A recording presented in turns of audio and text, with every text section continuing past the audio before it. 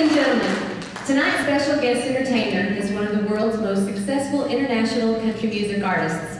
He has performed in over 50 countries around the world on American and international television and for some of the world's leading cruise lines. Tonight, he is here in Oklahoma with his brand new show. Please make welcome Mr. Bob.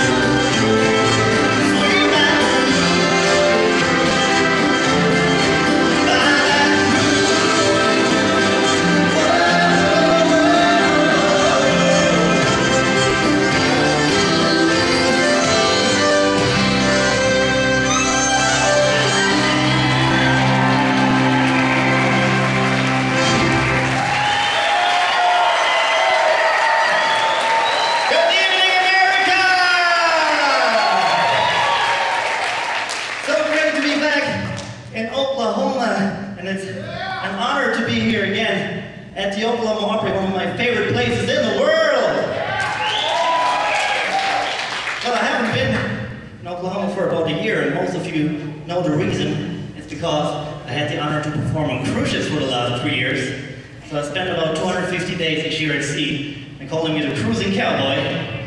But tonight I returned just to introduce my new show, which I'm taking to the ships next year. It's a tribute to an artist who recorded his first album exactly 20 years ago, and who has ever since become the world's fastest selling solo artist of all time, selling more than 100 million records. Kenny Anderson!